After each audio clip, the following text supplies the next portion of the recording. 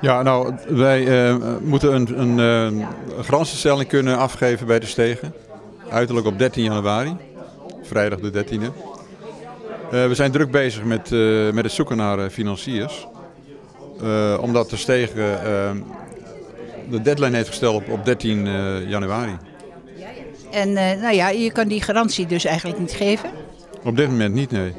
Nee, wij kunnen, we hebben alles gedaan wat we konden doen. We hebben de banken gevraagd om garantiestelling, doen ze niet.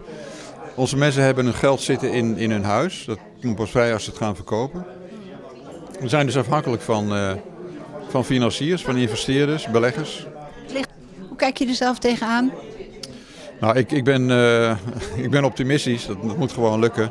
Het zou eeuwig zonde zijn dat, dat dit mooie project met, met letterlijk en figuurlijk de haven in zicht zou stranden. Gooike Postma, architect van de Hof van Heden Almelo. De laatste tijd eh, zijn er toch verontrustende berichten in de krant over de voortgang van het project. Hoe zit dat?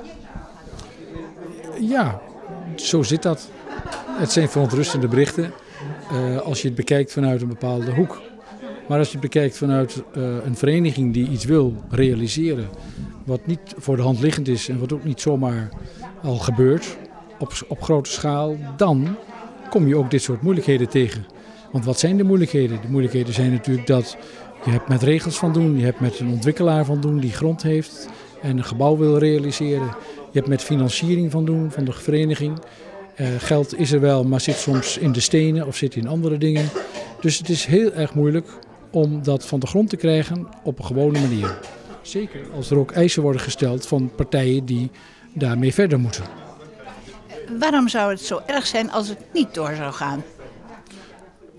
Nou, dan is een mooi initiatief. Wat meer is dan alleen maar een gebouw realiseren op een leuke plek.